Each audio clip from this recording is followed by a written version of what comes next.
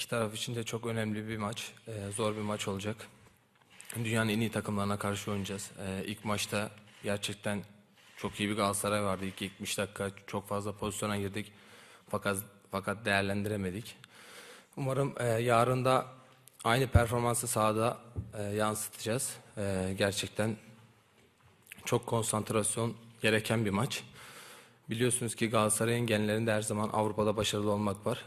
Biz de yarın e, umarım kazanırız, taraftarlarımızı mutlu ederiz. Kritik maçlarda gösterdiğin performanslarla öne çıktın şu ana kadar. Ee, yarın da şans bulman halinde grup için çok önemli bir maça çıkacaksın.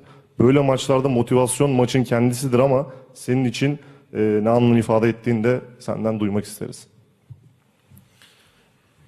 Ee, şöyle söyleyeyim, e, tabii ki her maç farklı farklı bakmıyorum. E, performansta inişler çıkışlar olabiliyor. Sadece hocamın e, bana verdiği taktiği sahada uygulamaya çalışıyorum. Takımıma faydalı olmak istiyorum. Bayern Münih takımına karşı bu anlamda e, nasıl hissettin? Bu fiziksel üstünlük takıma ekstra bir e, özgüven getirdi mi sana ve takıma? Bununla ilgili neler söyleyeceksin?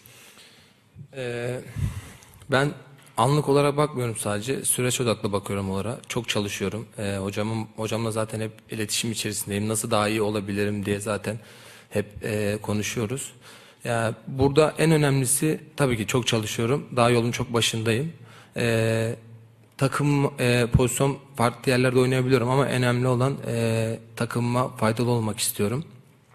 Ne kadar faydalı olabilirsem benim için o kadar mutlu.